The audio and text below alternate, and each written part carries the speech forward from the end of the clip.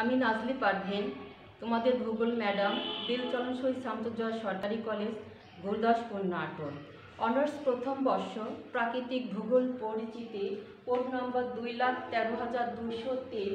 আজকে বিষয় শিরোনাম পানি চক্র আজকে পানি চক্র থেকে আমরা কি কি শিখব? শিখব হলো এক নম্বর পানি চক্র কি? পানি চক্রের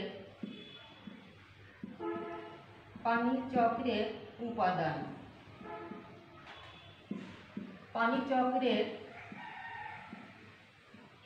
গুরুত্ব। পানিচক্র পানির অপর নাম জীবন। সাগর, মহাসাগর, নদী, নালা, খাল, বিল, জলাশয় ইত্যাদিতে পানি থাকে। পানি থাকে জলীয় বাষ্পরূপে বায়ুতে, পানি থাকে ভূপৃষ্ঠে এবং ভূগর্ভে, পানি থাকে সকল সজীব কোষে। এই পানি চক্রাকারে পরিবর্তিত হয়। পানি সমুদ্র থেকে বায়ুমণ্ডল বায়ুমণ্ডল থেকে স্থলভাগে, স্থলভাগ থেকে পুনরায় সাগরে পতিত হয়। এই পানি চক্রাকারে আবর্তিত হয়ে আমাদের গ্রহণযোগ্য বিশুদ্ধ পানি প্রদান করে। এই পানি চক্রটাই হলো আসলে পানি চক্র। এই পানি চক্র স্থলভাগ, সমুদ্র এবং বায়ুমণ্ডলের মধ্যে একটি পানির সমতা রক্ষা করছে। পানির বিজ্ঞানী দুজন সংজ্ঞা দিয়েছেন। কে আর কেরানা বলেছেন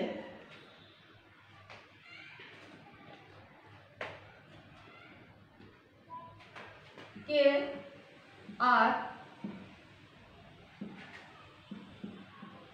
কে আর এ এ কেননা বলেন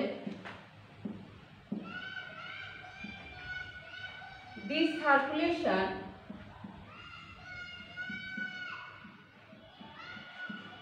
the circulation of the of the water from the from the oceans to the atmosphere.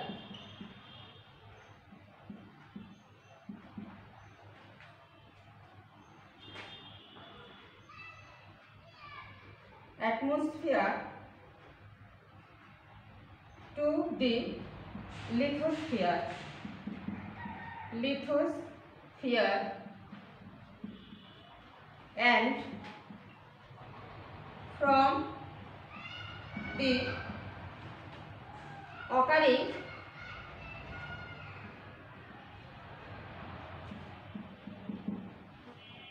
occurring through through a complex and interdependent.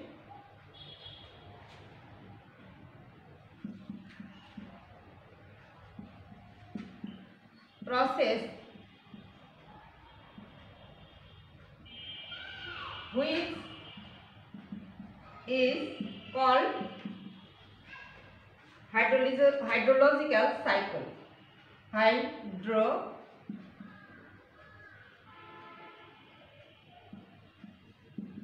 hydrological cycle. Lens ले।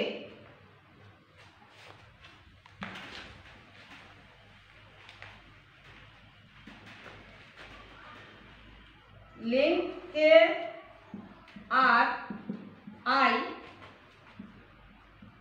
लेंस লে বলেন the hydrological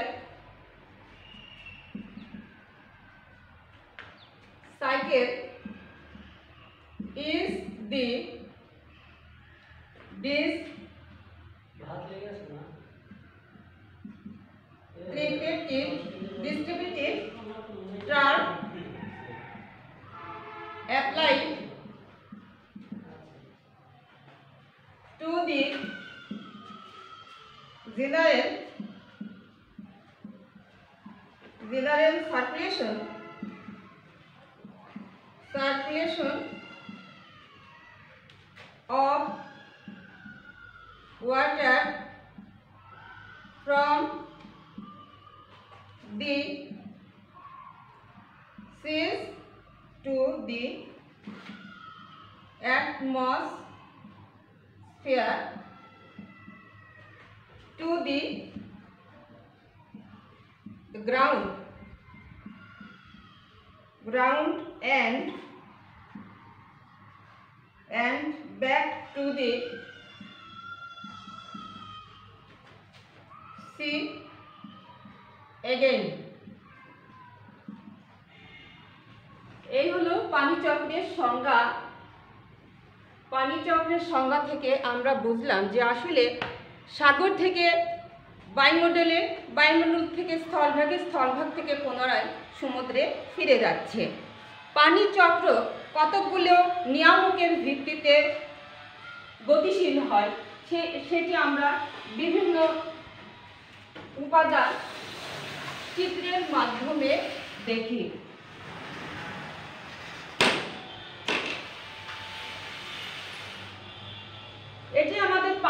পানিচক্রের চিত্র পানিচক্রের উপাদান, বাষ্পীভবন, ঘনীভবন, অধক্ষেপণ, রোদন আত্মভূতকরণ বাষ্পী প্রচ্ছেদন থিতানো বা চুয়ানো, মাটিতে পানি সঞ্চয়, অনুস্রাবণ ভূগর্ভের পানি।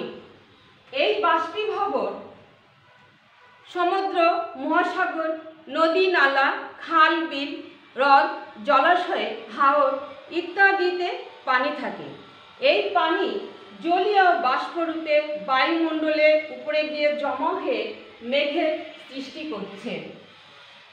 আবার কি করছে? এই পানি স্থলভাগে উপরে থেকে আবার জলীয় বাষ্পরূপে বায়ুমণ্ডলে যে আবার ভূপৃষ্ঠে ফিরে আসছে এবং বায়ুমণ্ডলের বেশিরভাগ পানি বৃষ্টিপাত রূপে ভূপৃষ্ঠে ফিরে আসে। এটাই হলো আসলে বাষ্পীভবন।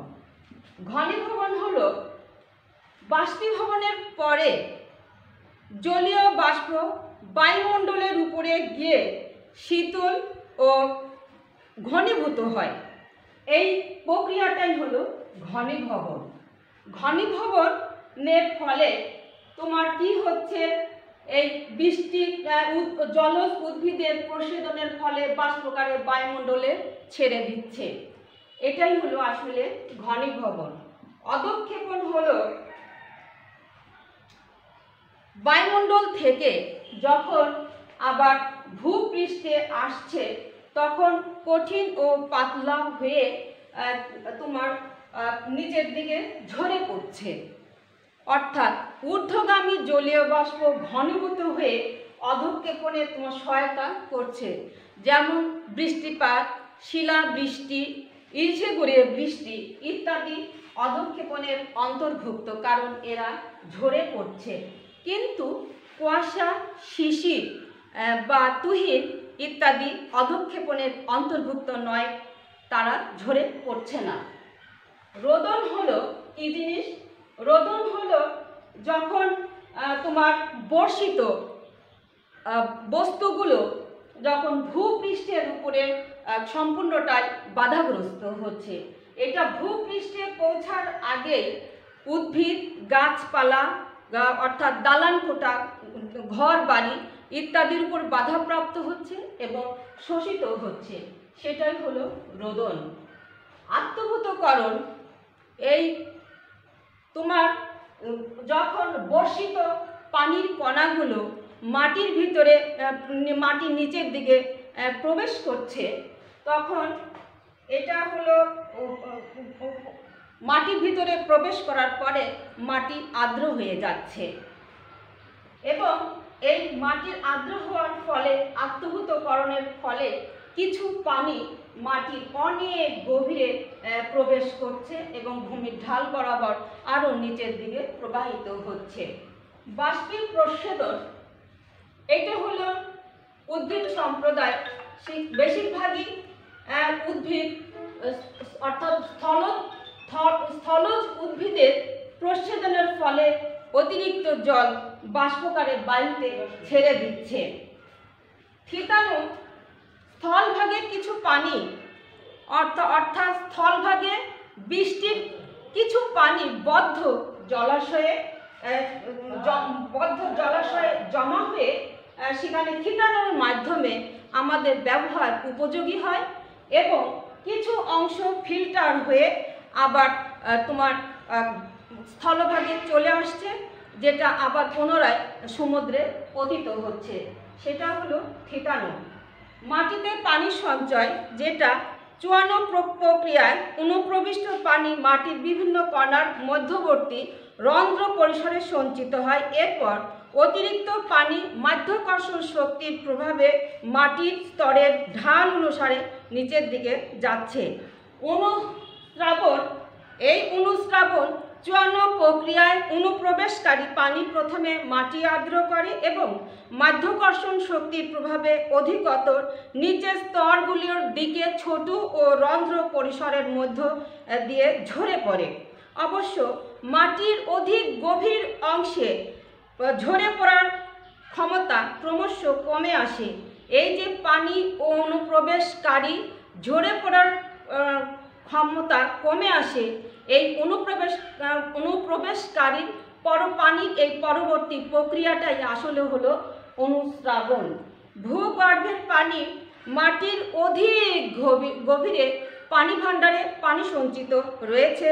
বর্ষাকালে অনুপ্রবেশ ও অনুস্রাবণের মাধ্যমে যখন বেশি পানি এই ভাণ্ডারে আসে, তখন তা গড়িয়ে পানি সরণ সৃষ্টি করে এবং ভূপৃষ্ঠে এবং সমুদ্রে পৌঁছায়। এটা হলো পানিচক্রের উপাদান। পানিচক্রের গুরুত্ব হলো আমাদের অত্যন্ত অপরিহার্য এবং প্রয়োজনীয়তা রয়েছে পানিচক্রের এই পানিচক্র ছাড়া শিলা তোমার হিমবাহু, নদী ইত্যাদি ক্ষয়কারী ক্ষ- ক্ষয়কারী শক্তির ক্ষমতা অচল হয়ে পড়ে। এই পানিচক্রের মাধ্যমেই জীবনচক্র উদ্ভব হয়। এই পানিচক্র দ্বারাই জীবনের জীবের বিবর্তন হয়, অনেক বিজ্ঞানীরা মনে করেন। এই পানিচক্রের মাধ্যমে, পানিচক্রতে বিভিন্ন প্রকার দ্রবীভূত হয়। এই পানিচক্র, পানির দ্বারাই পৃথিবীতে বনভূমি তৈরি হয়। সৃষ্টি হয় এবং বন আবার পানি ছাড়া আবার বৃক্ষহীন মরুভূমিতে পরিণত হয়। এই পানিচক্রের দ্বারাই শারীরবৃত্তীয় কার্যে সক্রিয় ভূমিকা পালন করে। এই পানিচক্রের দ্বারাই আসলে ভূ রাসায়নিক প্রক্রিয়া কাজ করে এবং উদ্ভিদকুল এবং প্রাণীকুলের মধ্যে একটি মঙ্গলময় সাধন করে। তোমরা ভালো থাকো। করোনার দ্বিতীয় ঢেউ চলছে। তোমরা স্বাস্থ্যবিধি মেনে চলো। আমার অনলাইন ক্লাসটি শেষ করছি। আল্লাহ হাফিজ।